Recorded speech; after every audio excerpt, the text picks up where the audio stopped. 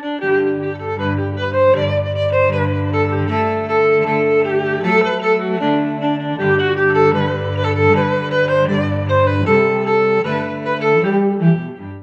നമ്മൾ ഉണ്ടാക്കാൻ പോകുന്നത് പുറത്തുനിന്നൊക്കെ വാങ്ങുന്ന കുർക്കുറ ഉണ്ടല്ലോ അതെങ്ങനെ അതേ ടേസ്റ്റിൽ നമുക്ക് വീട്ടിൽ വളരെ എളുപ്പത്തിൽ എങ്ങനെ തയ്യാറാക്കാം എന്നാണ് കാണിക്കുന്നത്. നല്ല ടേസ്റ്റ് ആണ് കേട്ടോ കുട്ടികൾക്കൊക്കെ ഒത്തിരി ഇഷ്ടാവും. അപ്പൊ നമുക്ക് ഒട്ടും വൈകണ്ട വീഡിയോയിലോട്ട് കിടക്കാം. ഇതിലേക്കായി ഒരു കപ്പ് അവിലാണ് ഞാൻ എടുത്തിരിക്കുന്നത്. ഇത് നല്ല നൈസായിട്ടുള്ള വൈറ്റ് അവിലാണ് കേട്ടോ ഇനി കുറച്ച് കനമുള്ള അവിലൊക്കെ ആണെങ്കിൽ ഏകദേശം ഒരു മുക്കാൽ കപ്പൊക്കെ മതിയാവും. മട്ടരിയുടെ അവിലൊക്കെ ആണെങ്കിൽ ഏകദേശം ഒരു മുക്കാൽ കപ്പൊക്കെ മതിയാവും. ഇത് വളരെ തിന്നായത് കാരണം ഞാനിവിടെ ഒരു കപ്പ് നിറച്ചെടുത്തിട്ടുണ്ട്. ഇത് നമുക്ക് ആദ്യം പൊടിച്ചെടുക്കാം നന്നായിട്ട്. അപ്പൊ അത് മിക്സിയുടെ ജാറിലോട്ട് ഇട്ട് കൊടുക്കാം. നന്നായിട്ട് പൊടിച്ചെടുക്കാം. അപ്പൊ ഇതേ നമ്മൾ പൊടിച്ചെടുത്തിട്ടുണ്ട്. ഇനി ഇത് എത്ര ഉണ്ടായിരുന്നു എന്ന് നോക്കാം. അപ്പൊ നമുക്ക് അര കപ്പ് നിറച്ചില്ല കേട്ടോ. അര കുറച്ച് കുറവുണ്ട്. അപ്പൊ നിങ്ങൾ ഏത് തരം അവിലെടുക്കുകയാണെങ്കിലും ഈ ഒരു മെഷർമെന്റ് ശ്രദ്ധിക്കുക. അര കുറച്ച് കുറവുണ്ടാവും. അത് ഇതിലോട്ട് ഇട്ട് കൊടുക്കാം. ഇനി നമുക്ക് ഇതിലോട്ട് കാൽ കപ്പ് കടലമാവാണ് വേണ്ടത്. ഇത് നമുക്ക് ഇതുപോലെ ഒരു അരിപ്പയിലോട്ട് ഇട്ടിട്ട് ഒന്ന് ഇതുപോലെ തെള്ളിയെടുക്കാം കേട്ടോ. കട്ടയും കരിയൊക്കെ ഉണ്ടെങ്കിൽ പോവാൻ വേണ്ടിയിട്ടാണ് നമ്മൾ ഇതുപോലെ ചെയ്യുന്നത്. അപ്പൊ ഇതേ ഇതുപോലെ നല്ല നൈസ് ആയിട്ടുള്ള പൗഡറാണ് കിട്ടിയിരിക്കുന്നത്. ഇത് നല്ല പോലെ അങ്ങ് മിക്സ് ചെയ്തെടുക്കാം. നന്നായിട്ട് മിക്സ് ചെയ്തെടുത്തിട്ടുണ്ട്. ഇതിവിടെ ഇരിക്കട്ടെ. ഇതിനി നമുക്ക് നമ്മൾ പത്തിരിക്കൊക്കെ വാട്ടിയെടുക്കില്ലേ? മാവ് വാട്ടിയെടുക്കില്ലേ? അതേപോലെ നമുക്ക് ഇതിനൊന്ന് വാട്ടിയെടുക്കണം. അതിനായിട്ട് വെള്ളം തിളപ്പിക്കാം. അതിനായി സ്റ്റൗ കത്തിച്ച് ഇതുപോലെ ഒരു പാൻ വെക്കാം.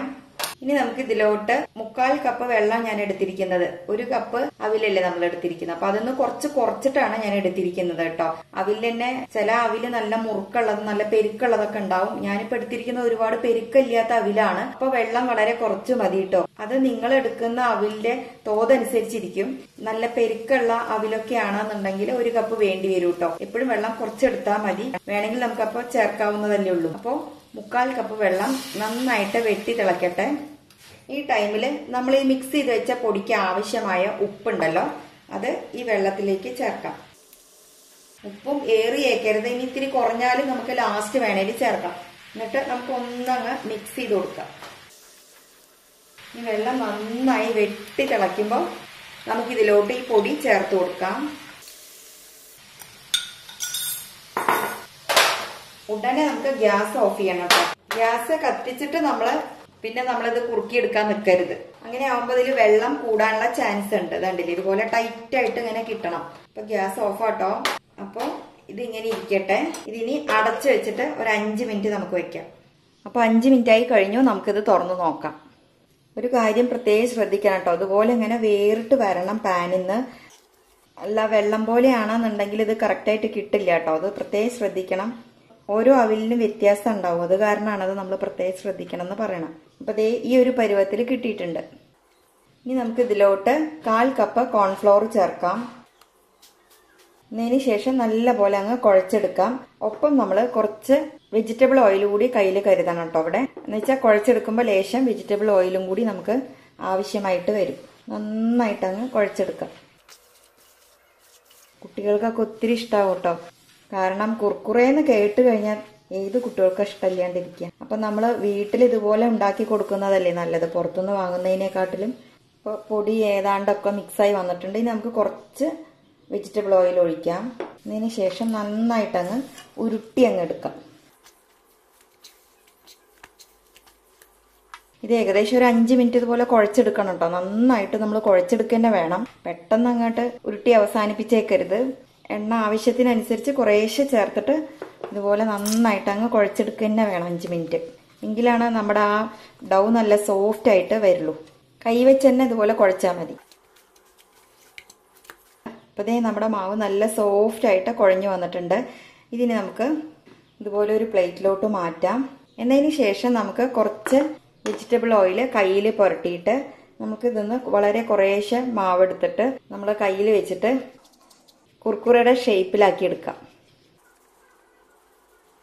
ഇതുപോലെ. വളരെ എളുപ്പാട്ടോ. ഇതൊന്നും ഒരു പ്രയാസേ ഇല്ല. വളരെ കുറച്ച് മാവ് എടുത്താൽ മതി കേട്ടോ ഇത് ഇത്രയും മതി. വളരെ കുറച്ച്. അതിന് ശേഷം ഒന്ന് ഉരുട്ടിയിട്ട് പിന്നെ നീളത്തിലാക്കിയിട്ട് നമുക്കിതുപോലെ എടുക്കാം. അപ്പം ഇതുപോലെ എല്ലാം റെഡിയാക്കി എടുക്കട്ടെ കേട്ടോ. അപ്പൊ ദേ ഇതെല്ലാം നമ്മൾ കുർക്കുറയുടെ ഷേപ്പിൽ റെഡിയാക്കി എടുത്തിട്ടുണ്ട് കേട്ടോ. ഇത് ഇനി നമുക്ക് എണ്ണയിലൊന്ന് വറുത്തെടുക്കാം. അതിനായി സ്റ്റൗ കത്തിച്ച് ഇതുപോലെ ഒരു പാൻ വെക്കാം. പാൻ ചൂടായി വരുമ്പോൾ നമുക്ക് ഇതിലോട്ട് സൺഫ്ലവർ ഓയിൽ ഒഴിച്ചു കൊടുക്കാം. എണ്ണ നന്നായി ചൂടായി കഴിഞ്ഞാൽ പിന്നെ നമ്മൾ ലോ ഫ്ലെയിമിൽ ഇട്ടിട്ട് വേണം കേട്ടോ അത് വറുത്തെടുക്കാനായിട്ട്. ഫ്ലെയിം ഒട്ടും കൂട്ടിയേക്കരുത്. അല്ലാന്നുണ്ടെങ്കിൽ കരിഞ്ഞു പോവുള്ളൂ. അപ്പൊ എണ്ണ നല്ലപോലെ ചൂടായി ഇനി നമുക്കിത് ഓരോന്നായിട്ട് ഇതിലോട്ട് ഇട്ട് കൊടുക്കാം. നമ്മളിത് എണ്ണയിലോട്ട് ഇട്ട് കഴിഞ്ഞാൽ ഇതുപോലെ ഒരു ലിഡ് കൊണ്ട് നമ്മളെ മുഖം മറച്ചു പിടിക്കണം കേട്ടോ ചിലപ്പോ ഒന്ന് പൊട്ടിത്തെറിക്കും. ചെറുതായിട്ട് ഒരുപാടൊന്നും ഇല്ല. അപ്പൊ അത് എണ്ണ മുഖത്തോട്ട് ആവണ്ട എന്ന് കരുതിയിട്ടാണ് ഞാൻ ഇതിപ്പോ ഇതിന്റെ ലിഡ് കൊണ്ട് ഇങ്ങനെ മറച്ചു പിടിച്ചിരിക്കുക എന്റെ മുഖം. എന്നിട്ട് ഇതുപോലെ നമുക്ക് വറുത്തെടുക്കാം. ആദ്യത്തെ കുറച്ച് നേരം നമ്മൾ ഇതുപോലെ ലിഡ് ഇങ്ങനെ പിടിക്കേണ്ടുള്ളൂ കേട്ടോ അത് കഴിഞ്ഞ് നമുക്കൊന്ന് മാറ്റി വെക്കാം. ഇനി നമുക്ക് തിരിച്ചും മറിച്ചും ഇതുപോലെ അങ്ങ് ഇളക്കി കൊടുക്കാം. നാല് ഭാഗവും ഒരേപോലെ ആവണ്ടേ. പെട്ടെന്ന് തന്നെ നമുക്കിത് എണ്ണയിലിട്ട് വറുത്ത് പോരാൻ പറ്റില്ല. കുറച്ച് നേരം ഇതുപോലെ ഇങ്ങനെ ഫ്രൈ ചെയ്തെടുക്കണം. എങ്കിലാണ് അത് കറക്റ്റ് ആയിട്ട് വരുള്ളൂ. പിന്നെ നമ്മൾ ഇതിൽ ഇടുന്ന സ്പൂണിൽ എപ്പോഴും വെള്ളം പാടില്ല കേട്ടോ. അത് പ്രത്യേകം ശ്രദ്ധിക്കണം. വെള്ളം ഉണ്ടെങ്കിലും അതുപോലെ പൊട്ടലും ചീറ്റലും ഒക്കെ വരും. ഞാനിപ്പോ സ്പൂൺ ഇടുന്നേക്ക് മുന്നെയാണ് പൊട്ടലും ചീറ്റലും ഉണ്ടായത്. ഇത്രയും മതി. ചെറുതായിട്ടൊന്ന് കളറൊക്കെ മാറി തുടങ്ങി. ഇനി നമുക്കിത് എണ്ണയിൽ നിന്ന് വറുത്ത് മാറ്റാം.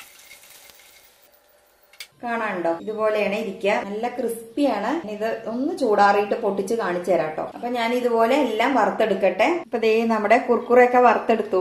ഇതുപോലെയാണ് ഇരിക്കുക. ഒരെണ്ണം എടുത്ത് ഞാൻ പൊട്ടിച്ച് കാണിച്ചു തരാം. കണ്ടില്ലേ? ശരിക്കും നമ്മൾ പുറത്തുനിന്ന് വാങ്ങുന്ന അതേപോലെ തന്നെയാണ് ഇരിക്കുക. ഞാനൊന്ന് കടിച്ച് സൗണ്ട് കേൾപ്പിച്ചു തരാം കേട്ടോ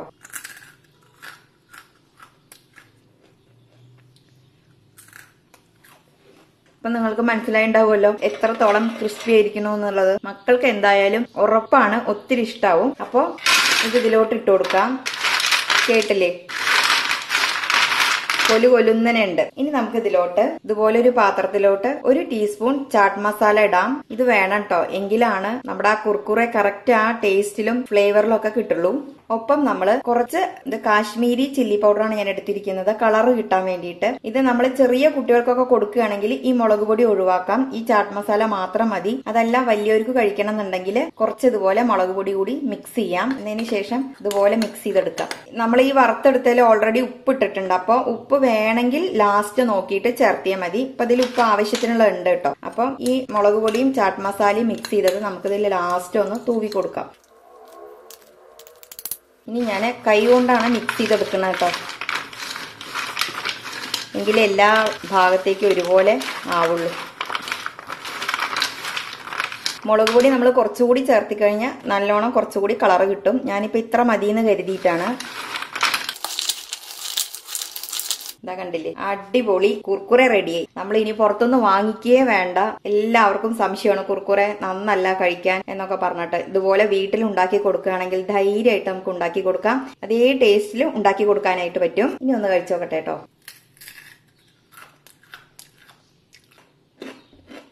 ഒന്നും പറയാനില്ല. കറക്റ്റ് കുർക്കുറെ തന്നെ. ഒരു മാറ്റവും ഇല്ല കേട്ടോ. അപ്പൊ ഇപ്പൊ തന്നെ ഉണ്ടാക്കി കൊടുത്തോളൂ. ഒത്തിരി ഇഷ്ടാവും എല്ലാവർക്കും. പിന്നെ ഒരു കാര്യം ഇത് എണ്ണയിൽ ഇടുമ്പോ ഒന്ന് ശ്രദ്ധിക്കണം.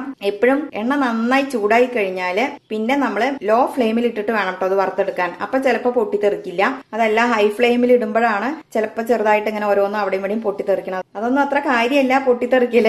അതൊരു ചെറിയതായിട്ട് അതായത് എണ്ണ ചൂട് കൂടുമ്പോ വരുന്നു എന്നേ ഉള്ളൂ കേട്ടോ അപ്പൊ അത് നോക്കി വേണം ചെയ്യാനായിട്ട്. ബാക്കി എല്ലാം പെർഫെക്റ്റ് ആണ്. അപ്പോൾ വീഡിയോ കണ്ട് ഇഷ്ടമായെങ്കിൽ ലൈക്ക് ചെയ്യാനും സബ്സ്ക്രൈബ് ചെയ്യാനും ഷെയർ ചെയ്യാനും ആരും മറക്കരുത്. വീണ്ടും നല്ല വീഡിയോസുമായി വരുന്നത് വരേക്കും. ബായ് എണ്ണയിൽ ഇങ്ങനെ എന്ന് ഞാനും ഒട്ടും പ്രതീക്ഷിച്ചില്ല അത് എണ്ണയിലിടുമ്പോൾ ഇത്രയും പൊട്ടലും ചീറ്റലും ഉണ്ടാവുന്നു ക്യാമറ ഓഫ് ചെയ്ത് ഓടി വിടുന്നു